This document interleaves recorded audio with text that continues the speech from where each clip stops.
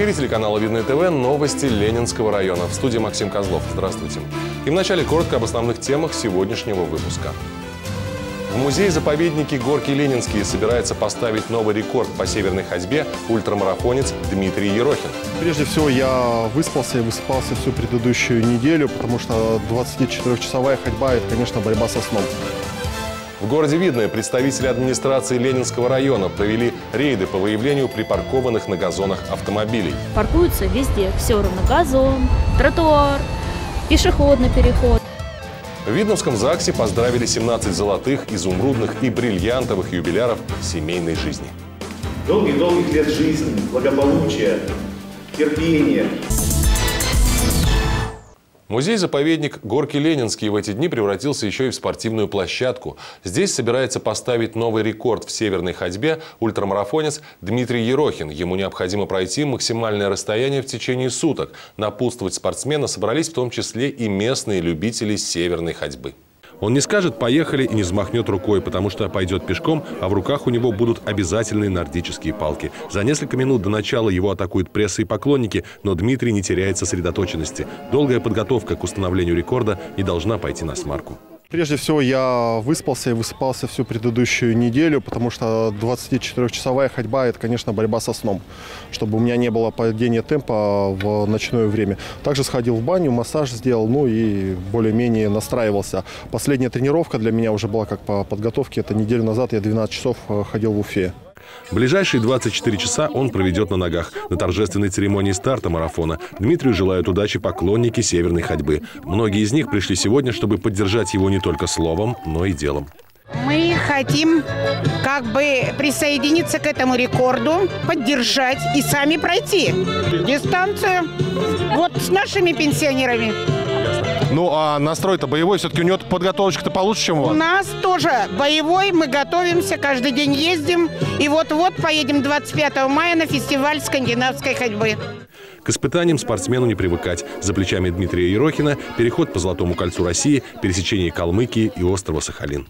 Итак, все готово к старту. Последний раз сутки Дмитрий ходил в Красноярске. Эту акцию он посвятил Красноярской универсиаде. Дело было в начале февраля этого года, и столбик термометра показывал минус 35 градусов. Несмотря на это, ультрамарафонец прошел почти 120 километров. И это стало еще одним его рекордом, зафиксированным в Российской Федерации северной ходьбы. Шесть, пять, четыре, три, два, один. Вместе с Дмитрием Ерохиным стартовали и другие поклонники северной ходьбы. Правда, они пройдут только один круг. А затем, как Дмитрий идет по дистанции, будут внимательно следить и люди, и техника. У нас есть два сертифицированных судьи, которые сертифицированы Российской Федерацией северной ходьбы. Второй момент – это у нас система хронометража. У нас непосредственно Дмитрий ходит с датчиками. А, у нас в шатре, вот на табло, смотрите, у нас там э, будут располагаться судьи. И в режиме онлайн каждый желающий может зайти на платформу и посмотреть, сколько Дмитрий прошел. Федерация северной ходьбы существует в России около пяти лет. В московском отделении сейчас зарегистрировано всего около 150 человек, в основном спортсмены. И такие мероприятия как нельзя лучше работают на популяризацию этого вида спорта. Переначив известную поговорку, можно сказать, умная голова ногам покоя не дает. Мало кто знает, но Дмитрий Ерохин – активный участник проекта «Русская Википедия». С 2009 года он написал для ресурса более 5000 статей. Отредактированным еще-то нет. Какую новую тему он обдумывает во время этого похода, остается только гадать. Финиш марафона пройдет завтра в 12.00. Именно тогда мы и узнаем, сколько километров смог пройти ультрамарафонец за сутки. Максим Козлов, Егор Хлябич, Сергей Ларин. Видное ТВ. 20 апреля пройдет общеобластной субботник во всех городах и поселениях Московской области. Помимо уборки территории и посадки деревьев, участников субботника ждут конкурсы для детей и молодежи, викторины и музыкальные коллективы, горячий чай и полевая кухня. Также среди всех участников субботника Министерство благоустройства Московской области проводит конкурс. С 11 по 28 апреля выложите в своем аккаунте Инстаграм фото убранной территории до и после с хэштегом «Грязи нет». Три автора самого массового, самого креативного и лучшего семейного фото на субботнике получат по необходимой в летний период вещи переносному мангалу. Результаты будут подведены 30 апреля на странице министра благоустройства Михаила Хайкина. Присоединяйтесь. Администрация Ленинского района регулярно проводит рейды по выявлению припаркованных на газонах автомобилей. В этот раз осмотр территории был проведен в городе Видное. Наш корреспондент Анастасия Воронина проследила за процессом работы специалистов правового управления. Парковка транспортных средств на газонах, спортивных и детских площадках, а также на участках с зелеными насаждениями запрещена. Однако есть водители, которые оставляют свои машины в неположенных местах. И таких правонарушителей можно встретить практически в каждом дворе. Чтобы напомнить автомобилистам об ответственности, администрация Ленинского района регулярно проводит специальные рейды, а также призывает жителей пользоваться порталом «Добродел», чтобы сообщать о тех, кто нарушает установленные правила. Жители Ленинского муниципального района, увидев э, правонарушение, то есть э, парковку на газоне, могут сфотографировать, написать дату, время, э, местоположение данной машины и прислать нам на портал «Добродел». Для проверки и уточнения собственника у нас есть два месяца. По окончанию двухмесячного срока выносится постановление о назначении административного штрафа. А, в течение 70 дней собственник автотранспорта должен оплатить штраф, 10 дней, который дается на обжалование штрафа и 60 дней для оплаты. В этот раз в центре внимания оказался город Видное. Специалисты провели тщательный осмотр припаркованных машин на проспекте Ленинского комсомола, улице Ольховой и Радужной. Большинство жителей, как, например, Константин Бондарцев и Светлана Городова, отнеслись к этой акции с пониманием. Покупая машину, э, я сразу и покупая квартиру вот здесь, в этом ЖК, я сразу заботился о ее месте. Я купил машину место. Здесь есть пока свободные места. Это, конечно, личное дело каждого человека. Вот. Кому-то не хочется, но мы живем уже, в, нужно принять это как должное, что если есть машина, нужно думать не только о бензине, о страховке, еще о чем-то, но нужно заботиться и о машинном месте. Паркуются везде, все равно газон, тротуар, пешеходный переход. Вот если там дальше сейчас пройти по улице, можно увидеть, что прямо посередине пешеходного перехода, вот уже сколько, практически 11 часов, совершенно не стесняясь, стоит машина легковушка. И это постоянно. В этот день на лобовые стекла машин были прикреплены листовки с предупреждением о правонарушении, а также с информацией о размере штрафа за неправильную парковку.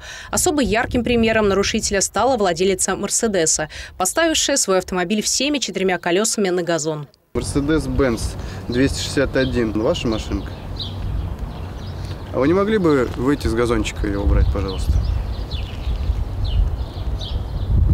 Ждем вас, спасибо. В ходе осмотра дворовых территорий было выявлено около 20 правонарушителей, которые будут вынуждены заплатить административный штраф от 1 до 3 тысяч рублей. Анастасия Воронина, Сергей Ларин, Ольга Садовская, Видное ТВ.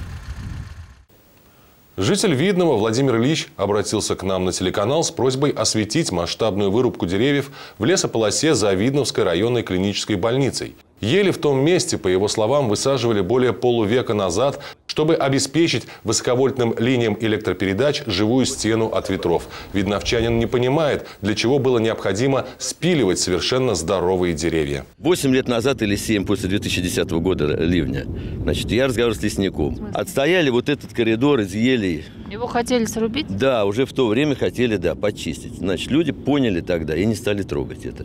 Деревья крепкие были, вот никакой ледяной дождь, ничего. Сейчас вы можете посмотреть, что вырублена вся правая сторона, и по левой, по-моему, тоже. Весь то, что выросло вот здесь, вот, ну, подходы, вот молоденькие деревья, все это, значит, вырублено просто под общую гребенку. За комментариями мы обратились к представителям южного филиала МОЭСК. В своей работе мы руководствуемся постановлением номер 160, правительственного, утвержденное правительством Российской Федерации. Значит, а, в данном постановлении есть а, пункты и аспекты, содержащие в себе належащее состояние просек либо зеленых насаждений в охранных зонах воздушных линий. Данные работы по, соответственно, освобождению от зеленых насаждений в охранной зоне предназначены исключительно для безопасности электроснабжения и, соответственно, безопасности граждан Российской Федерации. Кроме того, весь порубочный материал обещано убрать в ближайшее время. Кстати, сотрудники МОЭСК ежегодно участвуют в акциях по высадке деревьев, восполняя утраченные зеленые насаждения. Сотрудники МАЭСК тоже люди, а, в силу того, что мы тоже любим природу. Вот. У нас а, два раза в год а, проходят акции сотрудниками МАЭСК разных филиалов высаживаются парки Победы, а, парки памяти, то есть приобретение саженцев, и все сотрудники берут лопаты и участвуют в данных мероприятиях. А вот рядом, в лесном массиве, где санитарная рубка проводилась уже более года назад, похоже, остатки деревьев так и будут гнить, что неблагоприятно сказывается на экологии данной лесной зоны. Они прожили вместе долгую и счастливую жизнь и сохранили свои светлые чувства и уважение друг к другу, несмотря ни на что. В Видновском ЗАГСе поздравили 17 золотых, изумрудных и бриллиантовых юбиляров семейной жизни. Наша съемочная группа попыталась узнать у виновников торжества, в чем секрет их семейного счастья.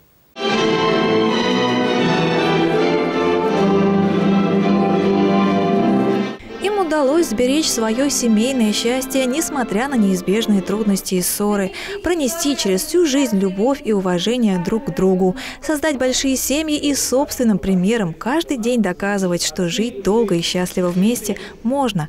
В Видномском ЗАГСе поздравили золотых, изумрудных и бриллиантовых юбиляров семейной жизни. Вы осуществили главное предназначение человеческой жизни. Вы выдержали этот экзамен жизнью и реализовали то, собственно, ради чего Творец, Бог создавал жизнь на земле. Вы реализовали любовь. Я бы вам пожелал от всей души, чтобы вы вместе прожили еще столько же, но чтобы прожили эти годы в здравии, любви и уважении. Виновникам торжества вручили поздравительные адреса и подарки, а затем пригласили поставить свои подписи в юбилейной памятной книге. Музыкальные номера чередовались с поздравлениями официальных лиц и совсем еще юных жителей муниципалитета.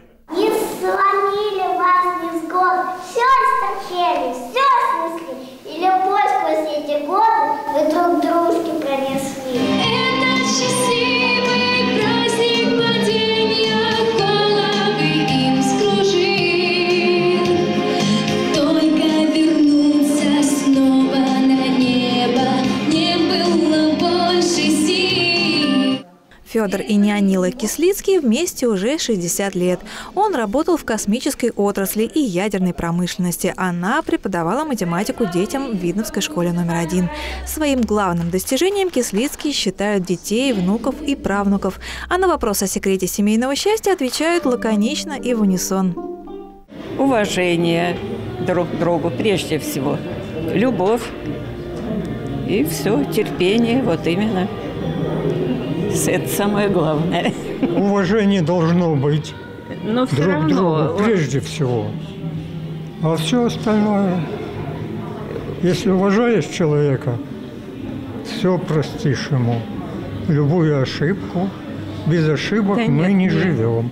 Лидия Николаевна и Игорь Владимирович Кохан пришли в ЗАГС с большой группой поддержки. Невестка, сестра мужа, внук и правнук – это только малая часть их большой и дружной семьи.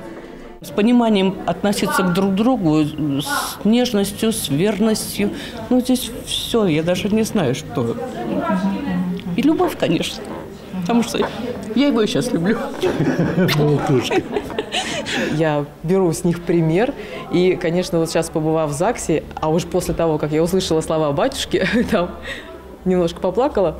Вот, действительно, они молодцы. А Свекровь у меня, как говорится, золото, потому что а, именно она а, может а, и умеет а, там где-то сгладить а, углы, а, где-то пойти на уступки. После торжественной части все юбиляры отправились на традиционный фуршет. Екатерина Борисова, Егор Хлябич, Елена Кошелева. Видно этого. И в заключение выпуска расскажем о прогнозах синоптиков. Они предсказывают, что завтра, 20 апреля, погода поспособствует проведению запланированного областного субботника. Ожидается переменная облачность, без осадков температура плюс 13 градусов. И это все новости на сегодня. С вами был Максим Козлов. До встречи.